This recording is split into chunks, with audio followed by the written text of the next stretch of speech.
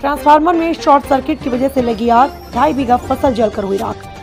सैनी क्षेत्र के हैबतपुर कला में उस समय हड़कंप मच गया, जब एक खूटी में रखे ट्रांसफार्मर में शॉर्ट सर्किट की वजह से आग लग गया।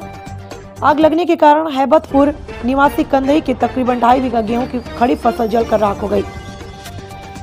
प्राप्त जानकारी के मुताबिक शॉर्ट सर्किट से गेहूँ की फ़सल में आग लगने के कारण ग्रामीण ग्रामीणों में हड़कंप मच गया और ग्रामीणों ने बताया कि हम सभी ग्रामवासियों के अथक प्रयासों के कारण आग पर काबू पाया गया।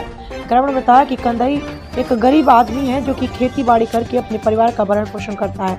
उसे, उस गरीब की तकरीबन ढाई बीघा फ़सल जलकर राख हो गई। गनीमत यह रही कि ग्रामीणों के अथक प्रयासों के कारण आग पर काबू पाया गया। ग्रामीणों ने बताया कि प्राकृतिक हवा न चलने के कारण भारी नुकसान होने से बचा अन्यथा दूसरी फ़सलों में भी भारी नुकसान झेलना पड़ता। संवाददाता श्रवण कुमार रायबरेली।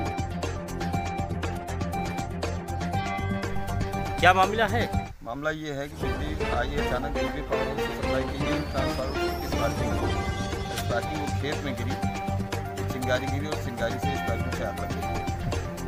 मतलब कौन से गाँव का मामला है? ये हैबत कला का मामला है। किसके खेत में लगी है? ये है मतलब किसान है अकबाल सिंह की ज़मीन है और कथई तो कितना फ़सल जल के राख कम से कम? ढाई तीन बीघे।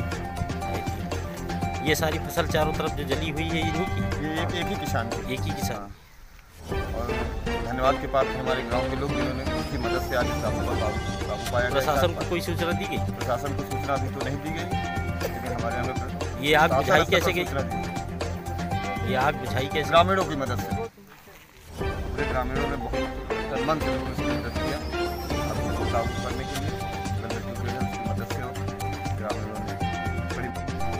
क्या नाम है आपका? क्या मामला? अरे आज मतलब आग किस कारण से लगी? बिजली से। हाँ, तो कितना आपका नुकसान कितना हुआ है लगता आप ही की सारी फ़सल जल के रख हाँ हमारी